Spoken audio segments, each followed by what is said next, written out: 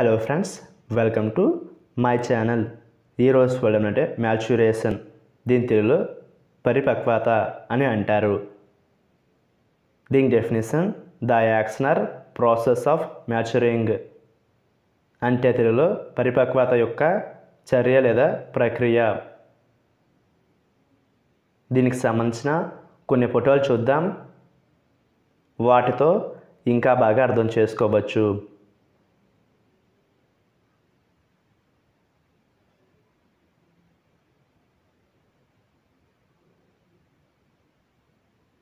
అలాగే దీనికి సంబంధించిన కొన్ని ఎగ్జాంపుల్ చూద్దాం.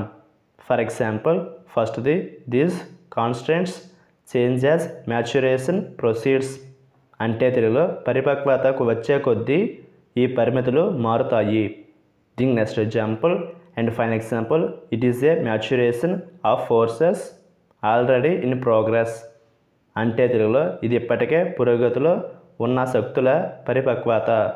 ఈ వీడియో మీకు నచ్చితే లైక్ చేయండి మరిన్ని వీడియోల కోసం మా ఛానల్ని సబ్స్క్రైబ్ చేసుకోండి. Thank you friends.